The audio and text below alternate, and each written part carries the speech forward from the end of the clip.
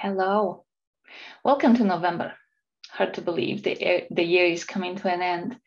So uh, I wanted to um, ask you to pay some attention to several items in this uh, month's uh, newsletter. First and foremost, our new values, the core values of professionalism, collaboration, humanity, and equity. These are our new values, and you will see a lot of information about what behaviors we're looking for and after to make sure that ICF members are really um, behaving according to those values. It's been a, a several years of work um, for the values, and, and we're very happy that we are now presenting them to the entire ecosystem.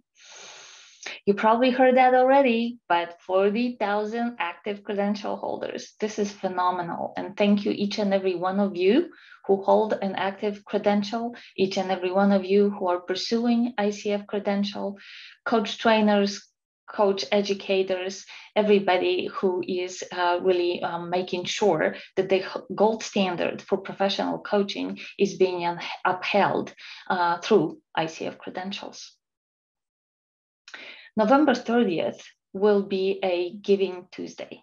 This is the opportunity for all of us to support ICF Foundation and uh, all of their efforts of pro bono coaching for either the populations that otherwise would not have access to coaching, or maybe those who may not think about coaching as a solution for whatever opportunity or a, um, a crisis they may be uh, facing. So um, please consider supporting ICF Foundation through Giving Tuesday. I also wanted to share with you that throughout this entire year, we've been um, enjoying such a great numbers of members joining ICF. October was a record month for us. And I hope that this trend will continue. So again, you are the greatest ambassadors for ICF and professional coaching or professionalism in coaching. So thank you for spreading the word.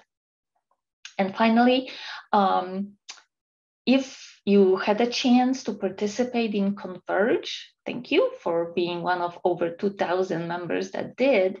And if you haven't, uh, the on-demand uh, recordings and the, the programming this year was just phenomenal.